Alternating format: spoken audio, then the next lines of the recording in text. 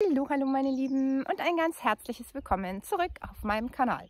Heute möchte ich mit euch über meinen Tinnitus sprechen. Viele von euch, die mir lange folgen, wissen, dass ich einen Tinnitus habe, der manchmal sehr, sehr unangenehm ist, der mir oft zu, zu schaffen macht. Wenn euch interessiert, ähm, wie genau das vonstatten geht, guckt mal Voice Mama Tinnitus. Ich habe schon öfters darüber berichtet, wie es mir dabei ging. Und ähm, das war unter Umständen manchmal gar nicht so einfach, das überhaupt auszuhalten. Zuerst einmal erkläre ich, was genau ich habe welche Symptome das waren und wie ich es geschafft habe, Ison ein bisschen in den Griff zu bekommen. Ich wünsche euch ganz viel Spaß bei diesem Video und äh, let's go! Ja, also viele von euch, die mir lange folgen, wissen, dass mein Tinnitus ein pulsierender Tinnitus ist, was so viel bedeutet, dass ich mein Ohrgeräusch synchron mit meinem Pulsschlag höre. Und das kann sich unter Umständen in verschiedenen Lautstärken bemerkbar machen. Manchmal ist es lauter zu hören, manchmal ist es ein bisschen leiser, manchmal höre ich ihn auch gar nicht. Und ich glaube, das ist so ein bisschen auch im Unterschied zu sehen zu dem normalen Tinnitus, der ja eigentlich ständig im Ohr zu hören hören ist. Ähm, denn bei uns gibt es unter Umständen, ich bin kein Arzt und ich kenne mich natürlich auch hier äh, fachspezifisch nicht so aus. Soweit ich aber weiß, ist der normale Tinnitus äh, im Unterschied zu betrachten zu dem pulsierenden Tinnitus. Im Grunde genommen sind es aber beides sehr unangenehme Geräusche, die einen wirklich wahnsinnig machen können. Jeder, der einen Tinnitus hat, ob pulsierend oder durchgängig normal, weiß, dass ähm, man teilweise wirklich verzweifelt und sich denkt, was kann ich nur machen? Also ich hatte beides schon mal. Ich hatte einen normalen Tinnitus. Jetzt werdet ihr sagen, wieso hattet der ist doch das ganze Leben lang. Ja, ich werde gleich mal ein bisschen drauf eingehen. Wie gesagt, ich habe schon öfters Video dazu gemacht, aber ich finde, es ist immer sehr interessant, auch mal so ein Update wieder zu hören.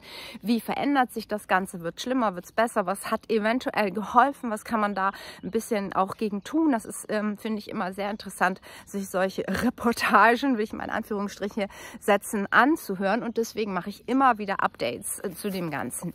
Also, ich hatte vor, erst lass es mal so acht, neun Jahre sein, einen am Silvesterabend einen Tinnitus bekommen.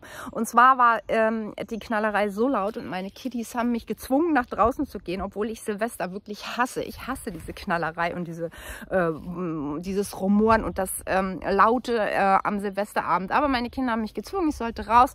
Meine Enkelin war auch dabei und ich bin dann ähm, rausgegangen mit ihr und habe mich eine ganze Zeit draußen aufgehalten. Ich habe so ein bisschen immer überall Getier im Wald wir können ja aber auch weitergehen, dann können wir uns ein bisschen im Gehen unterhalten.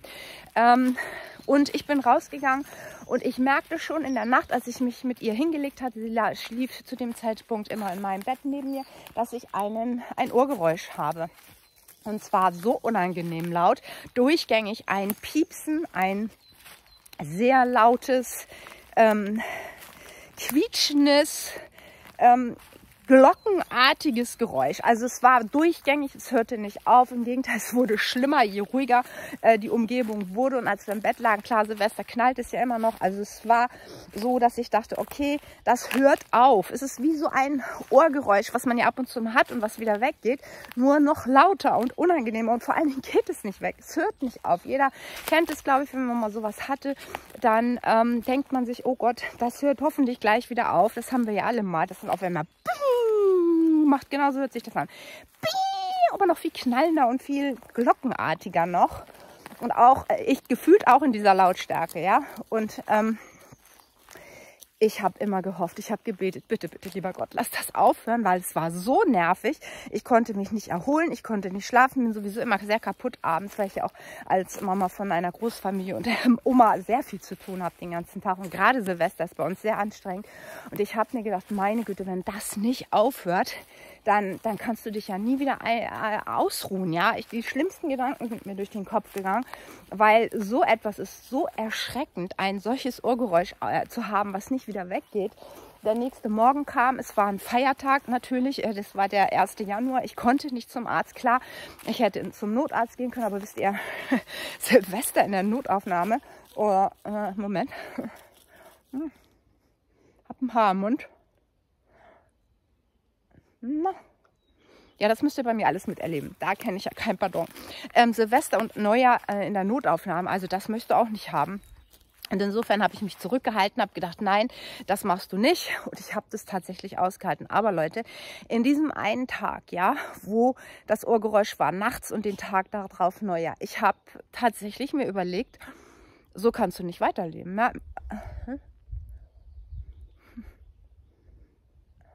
Jetzt. So kannst du nicht weiterleben. Ich habe, ob ihr das glaubt oder nicht, mir ausgemalt, wie mein Leben so weitergehen kann. Du kannst nicht schlafen, du kannst dich nicht ausruhen. Ich habe wirklich gar nicht geschlafen, die ganze Nacht. Also wenn, dann mich mal so für ein paar Minuten eingenickt. Ich war so kaputt und so voller Sorge. Und dieses doofe Ohrgeräusch, tagsüber ja noch immer nicht ganz so schlimm, weil du ja ähm, um dich herum so viel wuseligen Kram hast. Aber je, wenn du mal eine Minute ruhig hast, so, das, das ist so unangenehm und so nervig.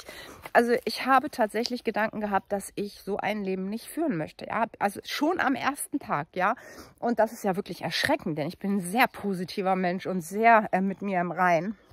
Ich hatte am zweiten Tag, ja, ich bin auch am zweiten Tag nicht zum Arzt, denn soweit ich weiß, war das ein Sonntag. Ich bin nicht mehr ganz sicher, aber ich konnte auch am zweiten Tag nicht zum Arzt und bin dann am Montag gleich hin. Ich meine, das wäre ein Sonntag gewesen, am dritten Tag hin zum Arzt und ich wusste natürlich, bin medizinisch sehr interessiert. Ich weiß natürlich, dass ich hätte in die Notaufnahme gemusst, es hätte gleich eine Therapie eingeleitet werden müssen. Es wird dann meistens ein blutverdünnendes Medikament gegeben, damit der Durchfluss ähm, ähm, im Ohr, der Blutdurchfluss besser funktioniert, soweit ich weiß. Wie gesagt, ich bin kein Arzt.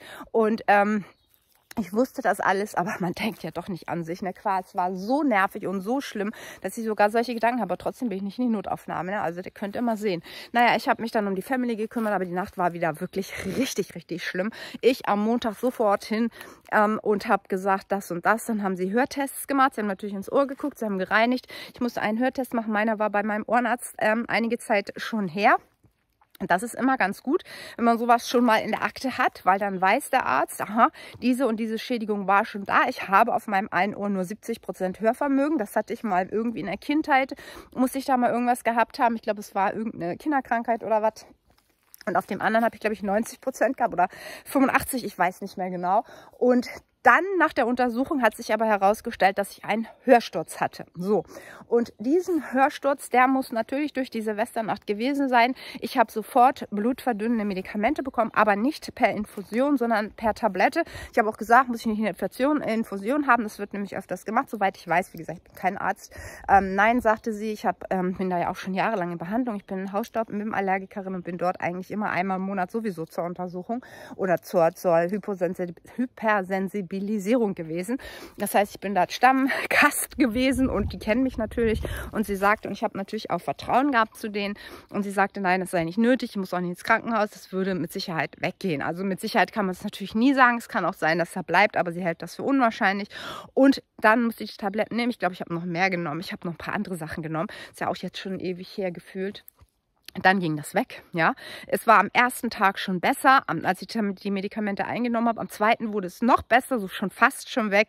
Und am dritten irgendwann war das Geräusch auch weg. Und dann lebst du ja auch weiter, ne? Du denkst ja, oh, das, ähm, du, du, denkst ja gar nicht dran. Du nimmst das so als selbstverständlich, dass das jetzt auf einmal weg ist und gehst wieder in deinen Alltag über. Also der Mensch ist ja so undankbar, ne?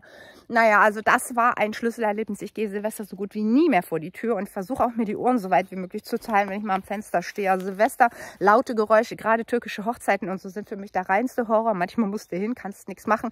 Klar, man kann sich irgendwas in die Ohren steppen, aber Silvester gehe ich auf jeden Fall nicht mehr raus. Das war wirklich ein Schlüsselerlebnis. Naja, und dann einige Jahre später, ich würde mal so sagen, vor zwei Jahren, nee, noch länger, vor fünf Jahren ungefähr, würde ich schätzen, hat auf meiner rechten Seite es angefangen, nachts, wenn ich auf dem Ohr lag, das pulsierende Geräusch. Bumm, Boom. Ich höre meinen Pulsschlag. Ja, richtig dumpf, relativ laut und ziemlich unangenehm. Ich wieder hin zum Hals-Nasen-Ohrenarzt. Die hat gesagt, das kommt, oder der, es ist, da, ist so eine Arztpraxis. Ich habe da mehrere Hals-Nasen-Ohrenärzte, was auch gut ist, weil du immer mal verschiedene Meinungen hast. Und die haben gesagt, das wird wahrscheinlich daher kommen, weil meine Ohrengänge, meine Hörgänge, meine Gehörgänge sind sehr, sehr dünn und sehr, sehr schmal und sehr, sehr verkrüxelt, sehr ver, ver, verwegelt und die muss ich immer reinigen. Ich muss eigentlich alle drei Monate zum Ohren reinigen. Das haben sie mir schriftlich ähm, Vorgeschrieben mache ich aber nicht. Gehe, weiß ich nicht, zweimal im Jahr oder einmal im Jahr oder alle zwei Jahre mal einmal, je nachdem, wie ich Bock habe. Und ähm, sie hat gesagt, das ist so derart verstopft und verklebt. Ich muss öfter kommen, spätestens alle drei Monate. Und es liegt daran, mit Sicherheit, wenn oder mit höher, hoher Wahrscheinlichkeit, wenn sie das sauber macht, wird es besser werden. Wenn nicht, muss ich nochmal wiederkommen. Dann kann man noch andere Gründe finden, die dafür in Frage kämen. Sie hat aber gleichzeitig auch, glaube ich, nochmal irgendwas, meinen Blutdruck, Blutdruck gemessen oder höher Indruck. Irgendwas hat sie da noch gemacht. Ultraschall sowieso, weil ich habe auch Knoten im Hals. Die hat sie auch noch mal alle angeguckt oder er, ich weiß gar nicht mehr. Und es sind ja mehrere Ärzte, wie gesagt, ich wechsle da ja immer. Und ähm, ja, dann hab, bin ich wieder nach Hause. Es hat nichts geholfen. Ja, und dann habe ich entdeckt, hatte ich schon vorher natürlich entdeckt, dass wenn ich schlafe und mir so eine Kuhle im, ähm, im Kissen baue, dass ich dann ähm, dieses Geräusch vermindert bis gar nicht mehr höre. Also schlafe ich immer nur mit so einer Kuhle. Also ich baue mir das Kissen so, dass mein Ohr immer ähm, in dieser Kuhle liegt, also nicht platt auf dem Kissen liegt. Das ist ein Trick, den man vielleicht mal ausprobieren kann. Ähm, ob das jetzt auch beim richtigen Tinnitus hilft, möchte ich bezweifeln. Aber so habe ich dann einige Jahre überstanden. Bis dann vor einem Jahr ungefähr, würde ich sagen, oder vielleicht noch ein bisschen länger, ein pulsierender Tinnitus auch auf meinem anderen Ohrstand waren. Ich bin übrigens nicht mehr zum Arzt, weil ich habe auch im Internet ein bisschen geguckt, habe gesehen, ja, man kann da ein paar Therapien einleiten, man muss in die Röhre, ja, man muss das einmal abchecken lassen, man kann ähm, auch da äh, operieren. Das hatte er mir damals auch gesagt. Es gibt ein paar Dinge, die man ausschließen, gibt auch ein paar gefährliche Dinge, die dabei sind, aber ähm, ja, ihr kennt mich ja, das habe ich alles nicht gemacht. Ich kam mit meinem Ohr ja gut zurecht, so auf dem Kissen und tagsüber habe ich ihn gar nicht gehört. Ich habe den pulsierenden Tinnitus auf dem Ohr nicht am Tag gehört. Und dann kam etwas, was mich wieder in Sorge versetzt hat, nämlich auf der anderen Seite. Und da habe ich ihn sowohl, wenn ich drauf liege, gehört nachts und auch, wenn ich nichts mache, also tagsüber, ja. Ich brauche nicht liegen, ich brauche nicht irgendwas machen Besonderes. Ich, äh, ich höre diesen, dieses dumpfe, laute Bumm, Bumm, bumm. Genauso hört sich das an. Wirklich sehr, sehr unangenehm, ja. Wenn du arbeitest, ich arbeite sehr viel am Handy und am Laptop und das war wirklich richtig, richtig nervig. Ich bin dann wieder zum Arzt, habe meine Ohren wieder sauber machen. Es hat nichts genützt, wirklich gar nichts. Aber man gewöhnt sich ja auch an diese schrecklichen Dinge und ähm, so lebt man dann vor sich hin und ähm, dann bin ich irgendwann auf den Trichter gekommen, es auszuprobieren mit Ohrstöpseln. Ich bin eigentlich durch Zufall drauf gekommen, weil mein Mann schnarcht und ich konnte es nicht mehr aushalten. Dann habe ich mir Ohrstöpsel gekauft, mehrere. Es gibt ja verschiedene Arten. Es gibt ja ähm, Ohrstöpsel aus ähm, Silikon und aus Wachs, so von Oropax. Mit den Silikondingern komme ich überhaupt nicht klar, weil die wupscheln da in meinen engen Gehörgängen, wirklich sehr eng und sehr schmal wursteln sich da zurecht, dass das mehr Geräusche macht als mein Ohrgeräusch. Ja, richtig furchtbar. Und auch wenn ich drauf liege, unmöglich. Die Dinger sind so groß. Klar, man kann sie zurechtstellen. Da habe ich immer Angst, dass das da mir im Ohr stecken bleibt, ich sie nicht wieder rauskriege. Mache ich nicht. Dann habe ich die Wachsdinger probiert von Oropax. Die sind auf jeden Fall eine Empfehlung wert. Man kann sich so zurecht wummeln, wie man möchte. Und wenn sie schön warm sind, kannst du sie auch noch besser formen. Sie formen sich auch direkt ähm, an den Gehörgang an, ja, weil sie eben wie Wachs sind in den Händen oder im Ohr. Und dann, wenn du drauf liegst, formt sich das genau so, wie du das brauchst für den Gehörgang. Erstmal höre ich meinen Mann nicht mehr schnarchen. Und zweitens habe ich gemerkt, wenn ich, durch Zufall, wie gesagt, wenn ich das so zurecht friemel und frummel, dass dann das Ohr nicht mehr ganz so laut bummert. Und wenn ich noch mehr Glück habe, es klappt nicht immer, aber es klappte immer besser, wenn ich mir das so zurecht friemel, dass ich das Geräusch dann unter Umständen nicht mehr höre oder ich zumindest es so leise bekomme, dass ich einschlafen kann. Von der anderen Seite mal gar nicht zu sprechen, das ist nach wie vor da, aber ich kriege das hin mit dem Kissen und manchmal höre ich es auch nicht mehr. Und ähm, inzwischen ist es sowieso sehr viel besser geworden. Warum, da komme ich gleich drauf. So habe ich dann wieder einige Monate verbracht. Ich gehe ja immer wieder zum Ohrreinigen, wenn mir das mal irgendwann einfällt und ich wieder Sorge habe, mehr auch um meine Knoten ausmessen zu lassen. Und ähm, genau, dann lasse ich natürlich auch immer die Ohren reinigen, kriege ich immer Ärger, dass ich doch alle drei Monate komme, sondern es nicht mache. Aber auch dann, es wird ja nicht besser. Ja, die Ohrgeräusche sind weiterhin da. So, und dann bis vor einigen Wochen. Ihr erinnert euch, wenn ihr meinen Kanal verfolgt, habe ich euch mitgenommen, als ich beim Hals-Nasen-Ohrenarzt in Bad Oldesloe war. Ich hatte natürlich wieder gar keine Hoffnung, aber ich hatte in der Zwischenzeit hier ähm, bei uns auf dem Dorf, wo ich mich gerade wieder übrigens befinde, in Niedersachsen, in einem Waldstück, ähm, übrigens... Äh, ist das Waldstück nicht ganz so schön gerade gepflegt, aber trotzdem wunderschön und äh, sehr schönes Wetter. Ähm, bin ich in Bad Oldesloe zum Hals-Nasen-Ohrenarzt, weil ich war lange nicht da und habe hier eine starke Ohrenentzündung gehabt ähm, vor ungefähr einem halben Jahr. Ja?